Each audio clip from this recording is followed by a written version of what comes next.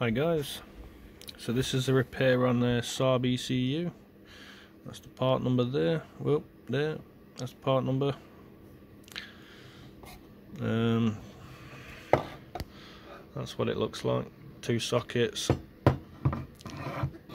You have to open the top top few screws, and then be careful on how you lift this board up, Careful not to get in at the edges here, and uh, you can warp you can see it's slightly warped the board. As long as it's not too bad, you should be alright, otherwise you risk uh, damaging those.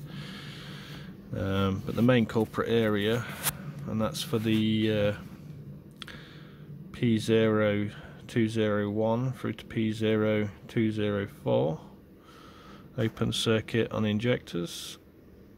Um, common faults are these diodes, I think there's one just back there as well all these MOSFET packages. Um, if you don't find any issues with these, then this is your culprit here, this chip. And that chip is uh, a T-PIC. Can't remember the numbers. You'll be able to see them. But it's a T-PIC. Uh, let me see if I can find the numbers.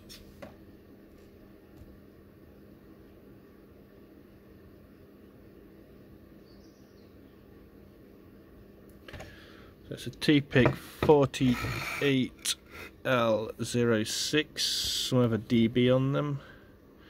Um, obviously I've already changed this chip, I've already taken it off. Um, it does, it is heavily heat sinked, the board.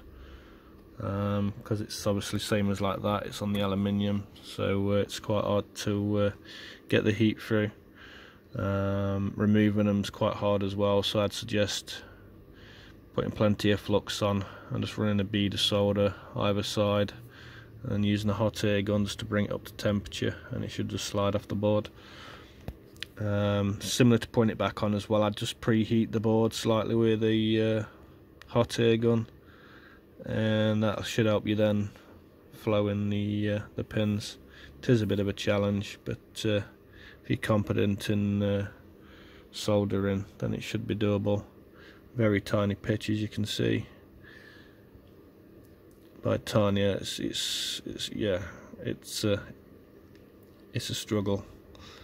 But uh, it's all done there and hopefully everything should be fine. So that's the Saab ECU repair. Like I say it's normally in this area generally. Caps don't usually go so don't worry about them. I've had to pick up some of this uh, silicon just to reveal this here because it was totally submerged in the gunk. Um, so yeah, thanks for watching.